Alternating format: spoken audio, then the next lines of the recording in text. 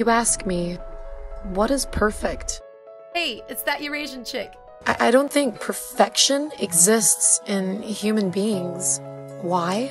Well, because we all make mistakes. We all do things that we regret. I mean, it's part of learning, isn't it? It's part of living. There are flaws in people that, well, either come internally or externally. Have you heard that saying? It goes like this Those people out there, they've got less experience, less skills. Do you know what makes them successful?